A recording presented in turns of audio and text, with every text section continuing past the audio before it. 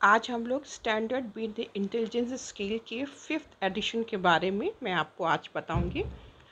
it is an individually administered intelligence test revised by Lewis Terman Stanford Binet scale is now in its fifth edition and it was released in 2003. It is a cognitive ability and intelligence test that is used to diagnose developmental or intellectually deficiencies in young children. Actually इसमें जो है वो इस test में पाँच weighted factors हैं। यानी कि ये जो टेस्ट है, वो पाँच वेटेड फैक्टर्स को मेजर करता है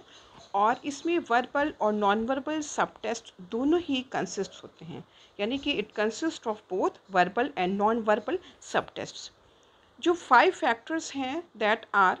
first is knowledge second is quantitative reasoning third is visual spatial processing fourth is working memory and fifth is fluid reasoning हम आपको बताते हैं कि fluid reasoning actually है क्या fluid reasoning is an ability to analyze problems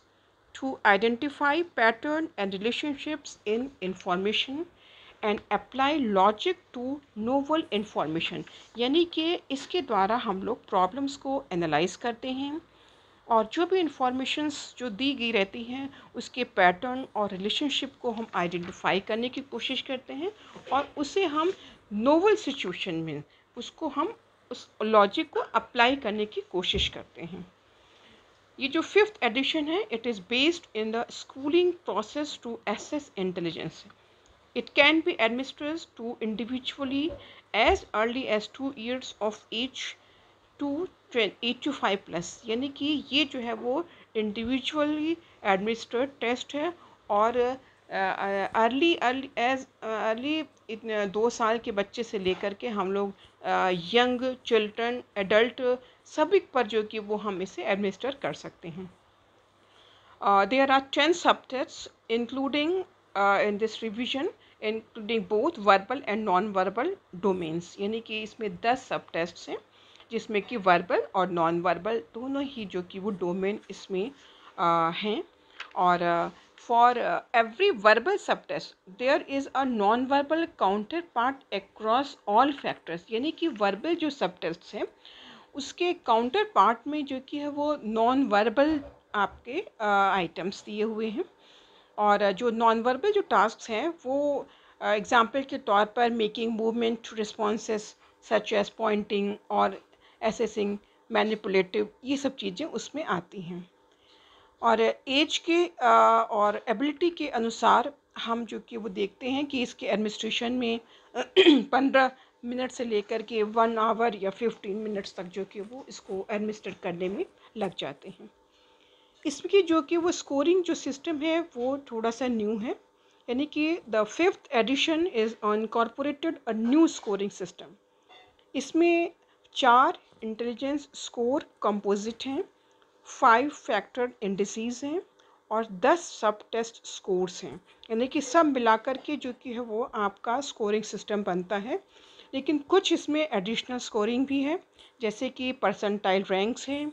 age equivalents हैं change sensitive scores हैं, ये सब चीज़ें हमें एडिशनल स्कोरिंग के रूप में include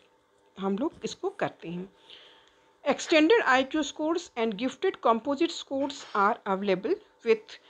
S B five in order to optimize the assessment for gifted programs यानी कि जो गिफ्टेड प्रोग्राम्स होते हैं, उनके असेसमेंट के लिए, उसके अनुकूलन के लिए जो है, वो आई क्यू स्कोर्स दिए हुए हैं और गिफ्टेड कॉम्पोजिट स्कोर्स दिए हुए हैं।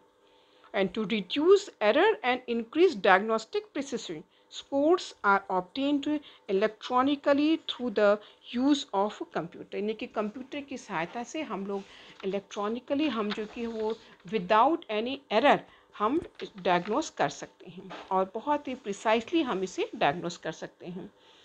ये जो एस पी फाइव एडिशन है, इसमें जो क्लासिफिकेशन सिस्टम जो दिए हुए हैं, वो आपके फिफ्टी फाइव बिलो से लेकर के आपके 160 अबव तक जो कि वो दिए गए इसके, के बीच में जो रेंजेस में नीचे, सबसे नीचे जो है वो आपके मल्टी इम्पेयर्ड आते हैं। मिडिल में आपके हाई एवरेज आएँगे सुपीरियर आएँगे और सबसे अबव में आपके वेरी गिफ्टेड और हाईली एडवांस्ड जो कि वो बच्चे आपके आएँगे।